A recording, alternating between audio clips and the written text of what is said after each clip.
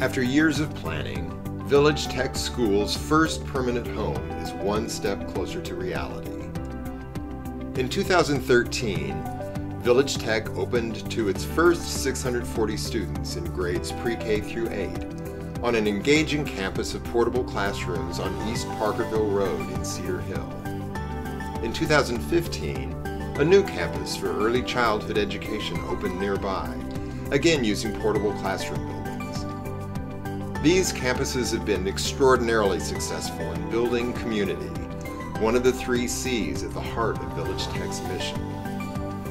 But since the school's beginning, Village Tech's leadership has been planning a new long-term home for the school that brings all the things they love about their campus in Cedar Hill, with the added benefits of permanence and spaces designed specifically for the way students at Village Tech Phase one of that permanent home repurposes an existing 47,000 square foot structure at the corner of Danieldale and Cedar Hill Roads in Duncanville, and is designed to advance the mission of Village Tech by supporting the three C's of character, challenge, and community.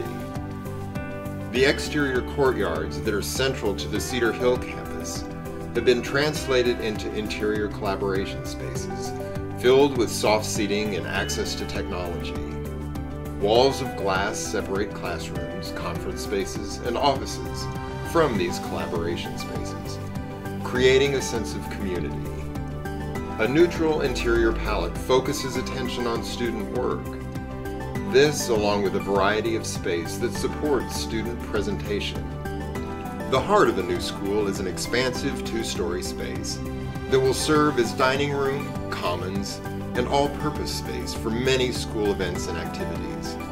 This is truly a community room where students of all ages can come together. A learning stair connects to the first and second floor and will be the home to a wide range of activities. A balcony corridor rings much of the space, and the pathways flowing into the commons themselves provide spaces for student interaction and individual study. Flexibility and multipurpose use are hallmarks of virtually every corner of the new school, with folding panel walls and marker boards separating classrooms and furniture that is easily customized to the activity of the moment. As the transformation of the existing building begins, planning for the next phase will continue. New construction will more than double the area provided by the existing Phase 1 structure and will create permanent space designed specifically for Village Tech for every student in every grade to learn and grow.